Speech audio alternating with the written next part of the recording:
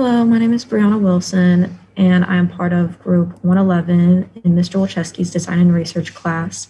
And today, uh, me and my team will be presenting the COVID 19 vaccine.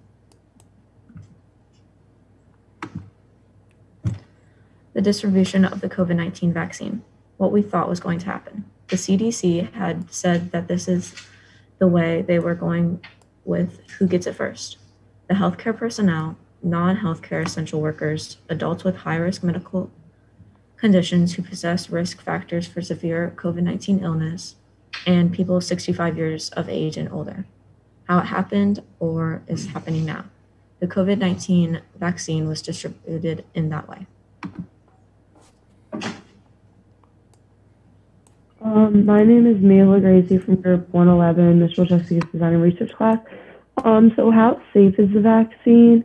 Many independent groups have tried it, as well as many doctors.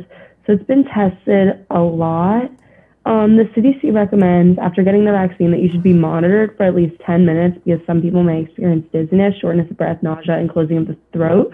So just in case you have like allergies and stuff like that, they usually just like sit you down and um, monitor you because um, it's rare, but people do get allergic reactions to the vaccine and they are monitored really closely. And if too many people are getting the reactions, they have to change the vaccine accordingly.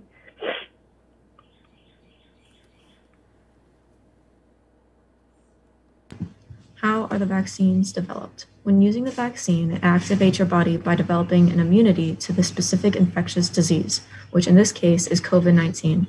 By allowing your body to become weakened by the disease, immunity is created to fight off the dead forms of the disease causing microbe in the immune system.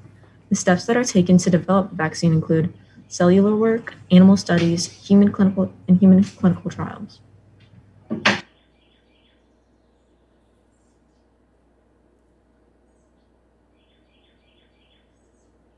um, problems with the vaccine. Um, corporations will require it, not the government. Hasn't been out long enough, and some people feel it is not necessary.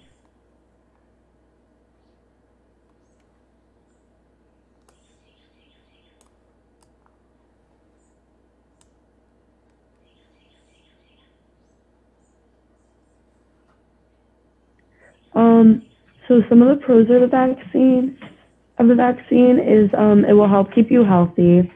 Um, so far, all of the patients that received the vaccine in America have been showing that it's really like effective, and all the vaccines that are being produced are carefully evaluated and approved. And by becoming vaccinated, the person will help others around them by not spreading the disease. People could move on from their lives without the coronavirus being a fear factor.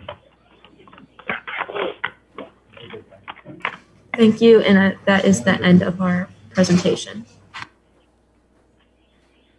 Thank you.